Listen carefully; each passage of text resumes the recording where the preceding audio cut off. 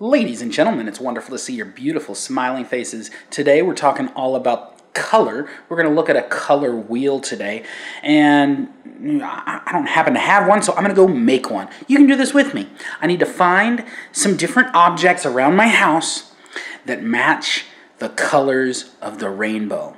So for starters, my son's favorite color is red, and his grandma made him a red quilt. So I'm going to go to his bedroom and there is John's red, red blanket, red quilt. Yes, that'll work for R, red. Now, R, O, Roy G. Biv, right? Roy G. Biv, that's how you remember the rainbow. What comes after red? Orange. We need something orange. I have an orange shirt in my closet. So, here. Alrighty, there's an orange shirt. I got all these different colored shirts for, you know, there we go. That'll work. Orange, uh, yellow, Roy, R O Y, yellow, orange, yeah, uh, yeah, red, orange, yellow. Yellow's next. Okay, there's my bed. Oh, look, I got yellow pillows. Yellow, yellow. I got red, orange, yellow. What's the G? G, g, g, g, g. What's the G stand for? Green, green, green. Oh, yeah, yeah. Uh, I think I saw some green Minecraft pajamas in the laundry room the other day.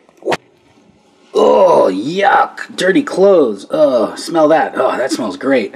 Oh, look, while we're here, not just green, but B. What's next? B is blue. Look, there's some blue jeans. Blue jeans. Let's grab some blue jeans. Blue jeans. Yeah, let's grab some blue jeans. And uh, after B for blue, we need uh, V, V, uh, right? Roy G. Biv. B, v, v, v, v, v is for violet. Violet. Let's go grab some violet. There's a violet shirt hard to see in this closet, but yeah, that, that, that's purple. That's a purple shirt. Yeah, yeah, yeah.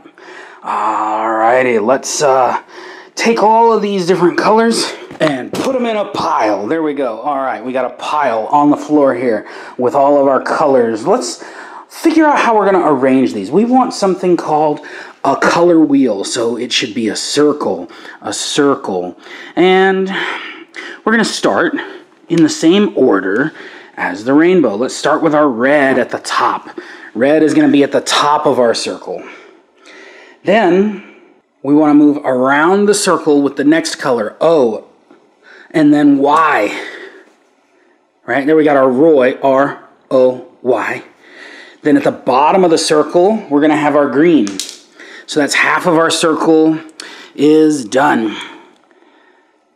Then blue comes next. Let me these are inside out. But you know what? I'm just to leave them as they are. There we go.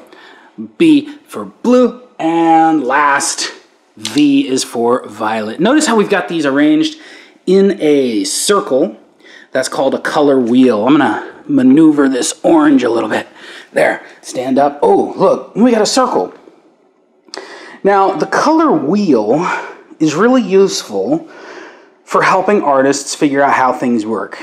The reason we've arranged everything in a circle is because this circle, this color wheel, can help us make some decisions when we're working on our artwork. If we want high contrast, right, where things pop out, then we want to use colors that are opposites on the color wheel. So purple is across from yellow. Would I use purple and red or purple and blue next to each other? No, those aren't going to be very high contrast, but a purple next to yellow, that's going to be high contrast. What if I want uh, some harmony or unity? Have all my colors feel like they really belong together? Then I want to use next door neighbors. So, like if I use blue and green and yellow and these colors down here, those will work really well together, feeling all harmonious, like we all belong together.